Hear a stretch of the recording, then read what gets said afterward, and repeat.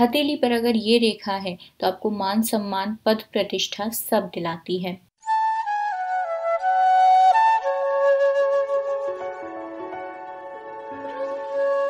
आज के इस वीडियो में हम बात करेंगे एक बहुत खास रेखा के बारे में, जो है सूर्य की रेखा। ये रेखा आपके जीवन में तरक्की के बहुत सारे रास्ते खोल देती है। आज हम जानेंगे ये रेखा कहाँ बनती है, क्या मतलब होता है इस रेखा का, और कैसा प्रभाव देती है लाइफ के डिफरेंट स्टेजेस पर।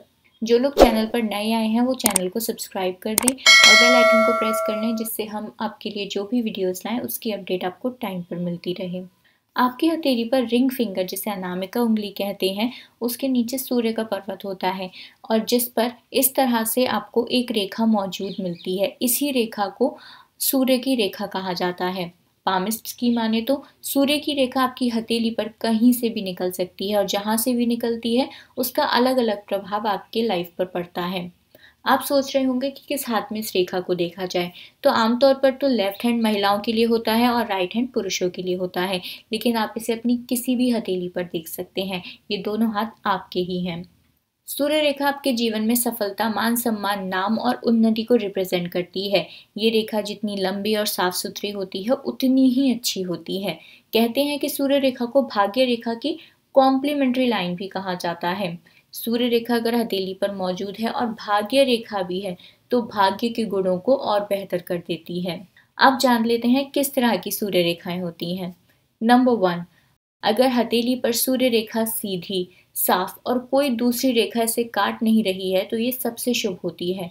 जब सूर्य रेखा इस तरह की दिखाई दे तो ये इंडिकेट करती है कि व्यक्ति को अच्छी नौकरी मिलेगी, उच्च पद की नौकरी हासिल हो सकती है, समाज में मान सम्मान और बड़ी पहचान भी मिलती है।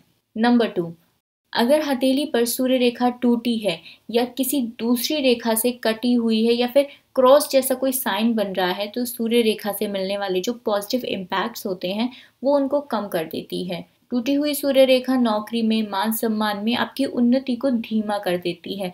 आपकी ग्रोथ की प्रोसेस धीमी होती चली जाती है। नंबर थ्री अगर सूर्य रेखा हथेली पर दो हो, जो कि पैरेलल चल रही हो और दूषित ना हो तो ये सबसे शुभ होती है। ऐसी सूर्य रेखा जीवन में इनकम के दो सोर्सेज होने का संकेत देती है। ये आपके पर्सनल और प्रोफेशनल लाइफ में भी एक बैलेंस बनाकर रखती है। ऐसे लोगों को आप आमतौर पर बहुत ही क्रिएटिव देखेंगे। नंबर फोर अगर सूर्य रेखा हृदय रेखा से निकलती है या हृदय रेखा पर रुक जाए तो व्यक्ति को 55 की एज के बाद फेम वेल्थ और सक्सेस अचीव होती है। वहीं सूर्य रेखा अगर माइंड लाइन से निकली हो तो ऐसे व्यक्ति अपने इंटेलेक्चुअल पावर से यश, प्रतिष्ठा, धन और सम्मान कमाते हैं। ये प्रोग्रेस आमतौर पर 40 की एज से शुरू हो जाती है और समय के साथ बढ़ती ही रहती है। उसके बाद अगर सूर्य रेखा जीवन रेखा से निकलती है तो ऐसे व्यक्ति अपने हार्ड वर्क से, अपनी वर्क फ़ील्ड में, अपनी लाइफ में एक नाम बनाने में कामयाब होते हैं। ऐसे लोग इंडिपेंडेंट माइंडसेट के होते हैं। हर काम को बड़ी ही प्रोफेशनल तरीके से करते हैं। आपकी हथेली पर इनमें से किस तरह की सूर्य रेखा है, आप कमेंट्स में ज़रूर बताइएगा।